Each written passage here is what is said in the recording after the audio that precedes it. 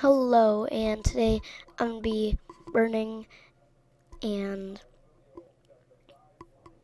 downloading and viewing Damn Small Linux on a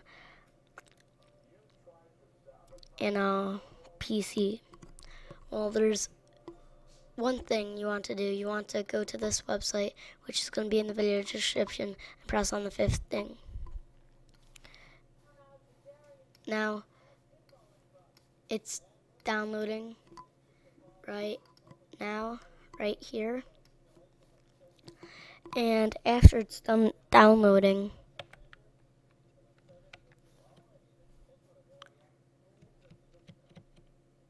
you're going to want to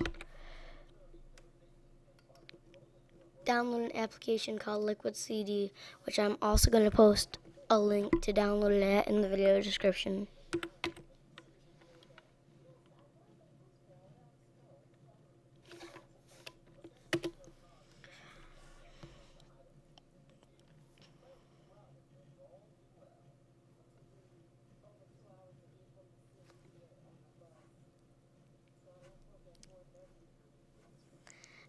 Okay, once you download a Liquid CD, press on Others and choose Disk Image.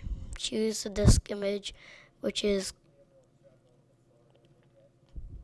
the damn small Linux.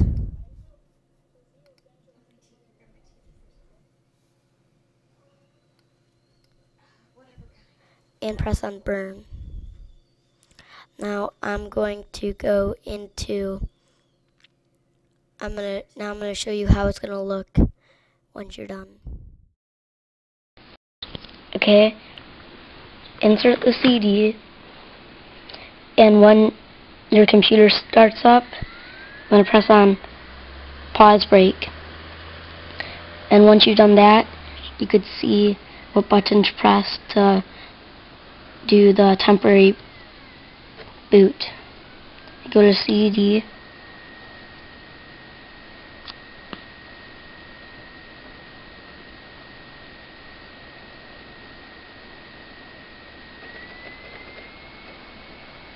And Damn Small Linux will open up like this and you press return.